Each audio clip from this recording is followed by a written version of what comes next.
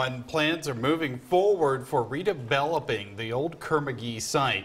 Members with the Greenfield Environmental Multi-Trust, uh, State Multi-State Trust, rather, have come up with three potential layouts for the area. Today, they allow the public to come in and take a look at proposals and to give some feedback. Our Quentin Smith takes a look at the proposed plans. He joins us live from Columbus's north side tonight with more. Andre, I'm here outside the Multi-State Trust Community Outreach Building, and all all throughout the day, residents in this neighborhood and members of the public have a chance to come inside and take a look at those proposals.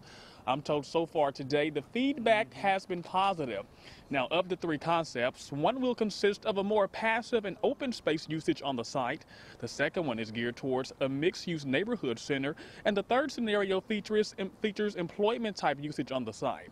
Now, representatives inside wouldn't say which concept has been the favorite so far. I'm told they will gather all the input from this session, see which concept residents express the most interest in, and then make their decision. The Greenfield Environmental Trust wants to create a redevelopment plan that is reflective of the wishes and the desires of the community as much as is feasible given market constraints and various environmental factors. So uh, in order to understand that, uh, of course, we have to have uh, we have to have input and feedback into the process.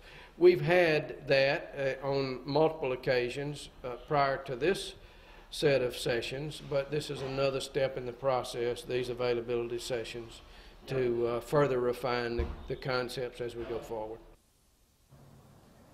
The Greenfield Environmental Trust hopes to have a proposal selected by the beginning of 2020. If you haven't had time to come out to the availability session so far today, you still have until 7 o'clock tonight to do so. The sessions will also take place again tomorrow morning from 9 to 11, and the building is located just off of 14th Avenue on Columbus's north side. We're live in Columbus tonight. Quentin Smith, WCBI News.